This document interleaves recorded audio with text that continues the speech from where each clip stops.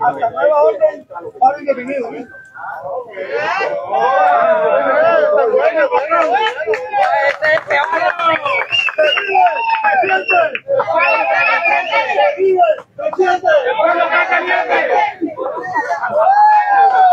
No paga luz,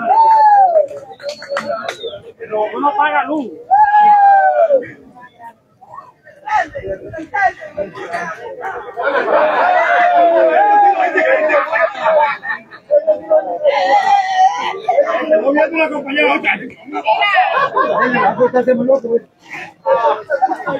Ahí sí no le la boca.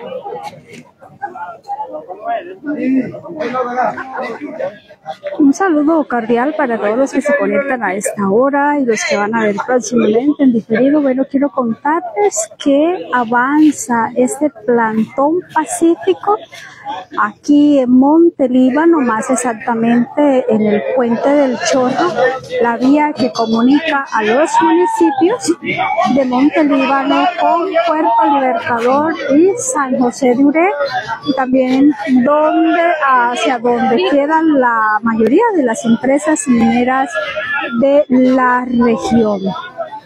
El plantón continúa, se ha seguido sumando gente de otras comunidades también.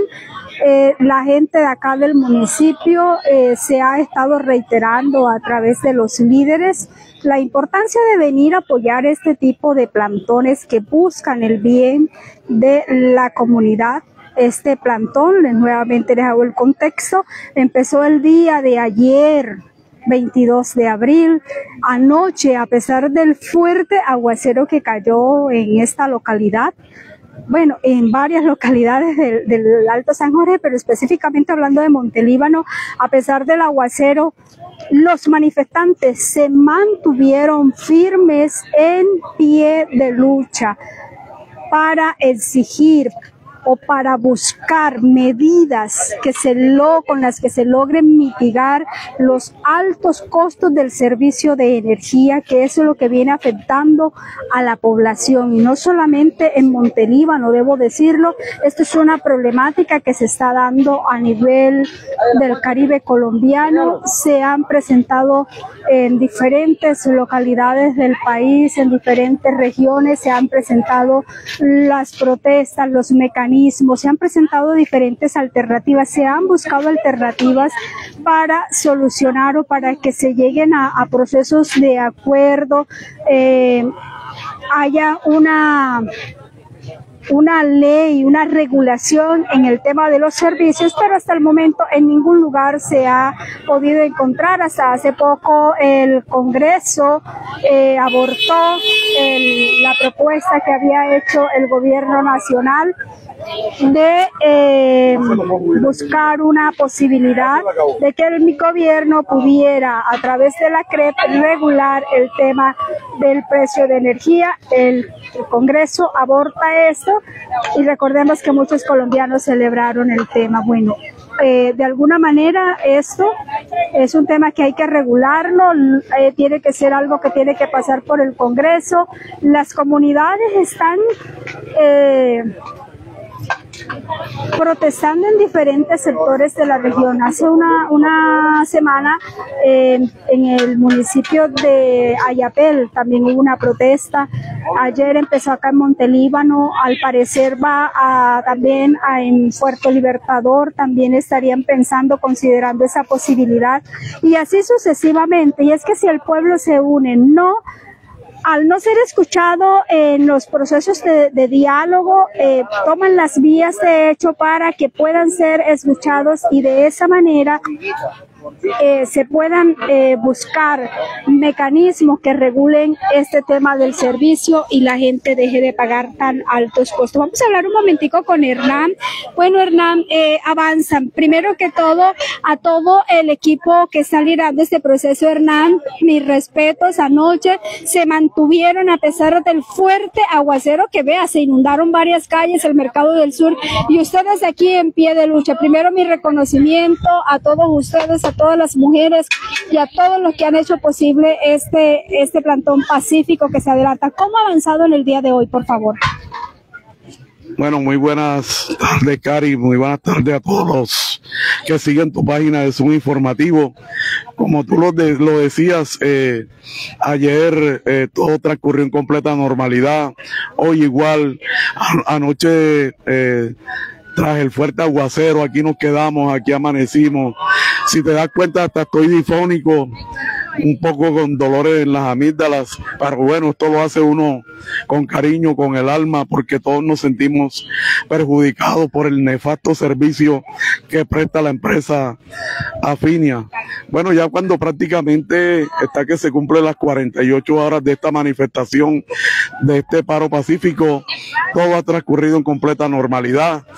A esta hora está una comisión eh, que se encuentra en reunión, en diálogo con personal de la alcaldía municipal, personería, defensoría del pueblo, autoridades policías, igualmente Ejército Nacional de Colombia. Estamos a la espera de que esa comisión baje y nos traiga a ver qué información nos traen de allá y tomaremos tomaremos decisiones. Hernán, esta reunión se da en base, eh, con base a lo dialogado en el cantón ayer. Sí, con base a lo que se dialogó ayer, a, ver en qué seguimos, seguimos avanzando. Pero, Cari, lo que podemos eh, recalcar en el día de hoy es que hoy la población se ha unido más. Mira, eh, si te puedes dar cuenta ya, las mismas personas, los comerciantes, han traído alimentos, han traído pollo, carne, arroz, todo el tema de hidratación, verduras y hemos contado con el apoyo infinito de, del comercio, inclusive de unos grandes amigos de, del, barrio que está ahí cerca de la Petromil, no recuerdo el nombre ahora, eh, Valle Lindo, habitantes que tú sabes que ellos han sido perjudicados bastante y han llegado hasta acá a expresarnos su solidaridad y nos han manifestado que lo que nos falte, ellos, ellos lo, lo mandan hacia acá. Entonces, de verdad, qué bonito ver unido a la comunidad y dejarle eh, eh, totalmente eh, dejarle claro totalmente a la comunidad, a los transportadores allá que, están bastante molestos. Sí, en la mañana al parecer Sí, hubo un pequeño altercado, pero se logró superar. Inclusive eh, nosotros somos personas de carácter humanitario, Cari. Le hemos brindado desayuno a los transportadores, a los muleros. Ahorita se les va a dar el almuerzo también. Y ya, ya estamos en, en completa armonía con ellos. Ellos ya han dialogado con nosotros y de verdad que eso es bonito, Cari. Hernán, sigue el corredor humanitario, el tema de las ambulancias, todo esto se está trabajando, se está asegurando los derechos de cada ciudadano. Claro que sí, eso ha transcurrido en su completa normalidad. Las ambulancias están pasando. Eh, todas las personas que vienen enfermas, las personas que se dializan, las personas que se dializan, etcétera, etcétera, todo lo que tenga que ver con tema de, de, de enfermos, igualmente los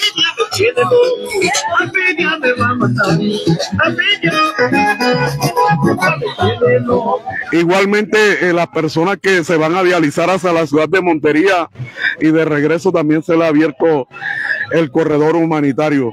Vuelvo y recalco que estamos aquí, Cari, no porque nosotros queremos, sino que nos sentimos obligados a hacer esto porque ya estamos cansados, Cari, ya estamos mamados de esta situación.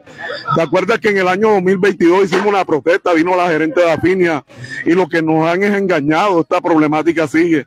Ojalá vamos a ver qué, cuál es la información que nos traen de, de la mesa de diálogo y tomaremos decisiones. Bueno, Hernán, ¿qué posibilidades? Está la pregunta acá. Dice que qué, tan cierto es que se va a cerrar el puente San Jorge. No, eso es totalmente falso. Eh, a las personas decirle lo que están viéndonos por este medio a esta hora que que no se dejen engañar de, de tantas falacias, de tantas mentiras que, que, están diciendo por ahí. No, nosotros estamos aquí en este punto. En el, invitar a la gente a que venga y conozca la realidad. Claro, claro que sí. Claro que sí, hay muchas especulaciones, invitar a la gente que, que se acerquen, de que vean que esto es una manifestación pacífica y que hoy el pueblo está colmado aquí eh, para decirle no más abusos a la empresa Finia. Bueno, invitar a la gente, invitar a la gente que se sume.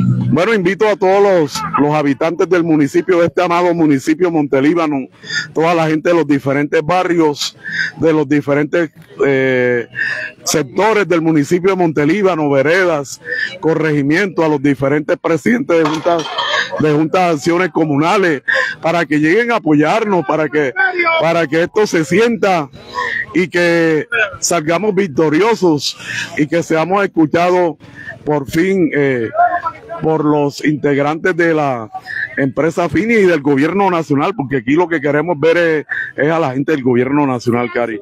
personas de otras localidades acá? Bueno, por ahí ahorita nos mandaron un audio personas del municipio de Puerto Libertador, inclusive los indígenas que nos, que nos acompañan y nos han mandado ayudas humanitarias acá, eh, la gente de Puerto Libertador, Cari, de verdad que eso bonito es importante. Y quiero dejar claro un, un mal comentario en el día de ayer de que aquí se le estaba quitando plata a la gente para dejarlo pasar. Totalmente falso, Cari. Aquí las personas pasaban, la gente que iba en sus vehículos y ellos mismos nos abrían las puertas de su carro y nos decían, muchachos, aquí les dejamos 10 mil, 20 mil para que compren agüita, gaseosa, leche, chocolate, porque ellos dicen que ellos también apoyan esta iniciativa. Entonces hay que dejar claro eso. Muchísimas gracias, Hernán. Aquí estamos cubriendo esta noticia. No pudimos llegar en horas de la mañana. Las comunidades indígenas se han sumado también. Hay miembros de la comunidad indígena eh, acá sumados a esta, a esta actividad. Es una actividad pacífica. Siempre lo hemos reiterado. Es una protesta pacífica, un plantón pacífico, donde el objetivo es hacerse escuchar de la empresa afinia, pero eh, también de alguna manera se busca que a través de lo el sistema gubernamental se pueda tener la reunión con la CRED para poder buscar la regulación. Y nos siguen llegando más ayuda todavía. Bueno, ahí está Hernán hablando. Miren, yo les muestro. Miren, estas son las ollas de comida que se adelantan de los diferentes miembros del comercio, de la comunidad en general, que ha venido a brindarle el apoyo, que ha enviado su apoyo en especie. De pronto algunos no pueden llegar, pero sí están enviando su respaldo, su apoyo para el almuerzo la alimentación y la hidratación de los que están aquí, que han permanecido, como les decía anoche, no se movieron a pesar del fuerte aguacero que cayó acá.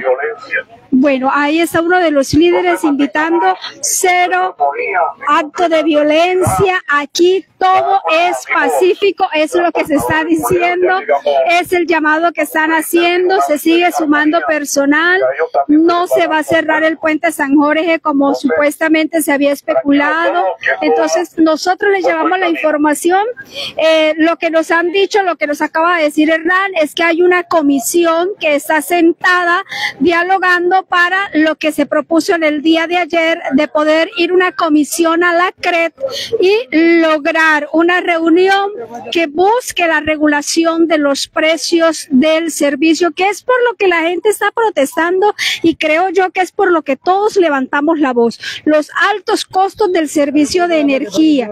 La energía es sumamente costosa y esa es la razón por la que se protesta acá. Por supuesto, la gente sigue pasando, está el corredor humanitario que se está abriendo para el paso de motos, pero también como ustedes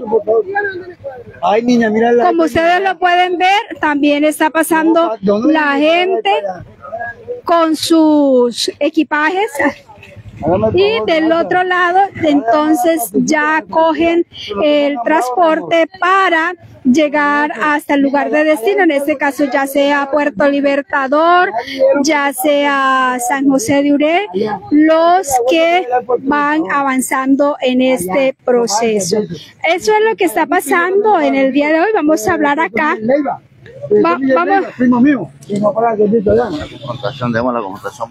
Buenas tardes, vamos a hablar aquí con Nilson, que también que no me le dé tanto el sol. Ya, ya con lo que se asolearon y aparte con la lavada de anoche quedaron limpiecitos y todo.